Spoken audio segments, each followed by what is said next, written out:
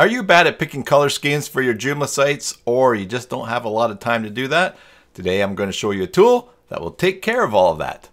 Brought to you by MySites.guru. Do you have a Joomla site? Of course you do. Head on over to MySites.guru and get a free site audit for it.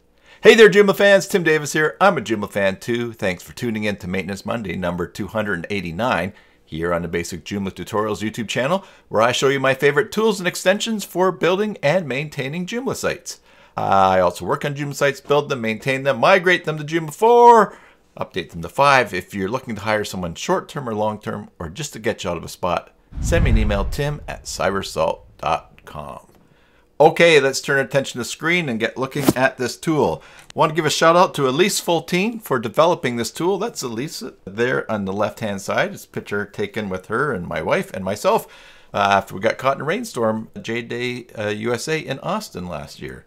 Her website is coolcatcreations.com, so head on over and check that out. The tool she has created is located at colours.joomla.com. Here's Cassiopeia, the default template for Joomla 4 and Joomla 5. And basically what you can do here is randomly pick some color combinations until you find something that you want for your site. And then you can add that CSS to your site. Let's see how it works.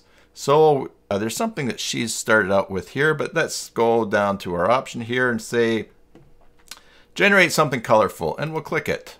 Well, that's colorful, but if you don't like that, click it again. Click it again until you see something you like. Something less saturated? All right. Less. Something more. More serious, please.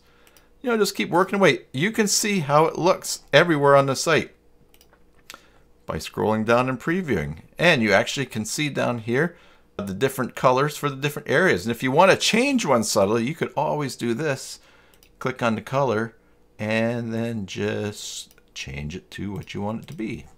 Anyways, once you have everything the way that you want, let's just get something. There you go. That's more obvious for a change. Once you've got everything that you want, what you have to do is scroll down here to save colors and download user.css. So we're going to do that and we get prompted to download a file. CSS user.css cascading style sheet document. I'm going to save this to my computer and now I'm going to open it. Now you can open it in your favorite file editor. You can use Notepad, what something that will open up a text file.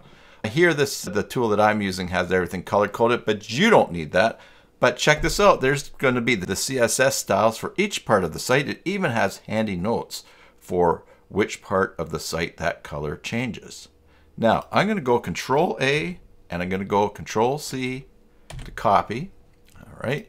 And now I'm going to go to plain Jane Joomla 5 install with the sample data there. And we're going to apply the CSS very easily. To do that, we log into the back end of the site. Now I've got the dark mode running here on my desktop. So let's change this to light mode using the dark mode, light mode button that you can see how to add from a video on my channel. Now we're going to click on system and then we're going to click on site templates.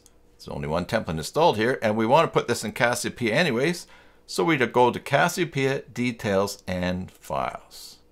Now, we want to create a file called user.css, and we want that file to go here in the CSS folder under Media Templates Site Cassiopeia, the CSS folder. But just because we've clicked on that does not mean the file we need will be created there when we click New File. What we need to do is click New File and then select the folder that we want that to go to.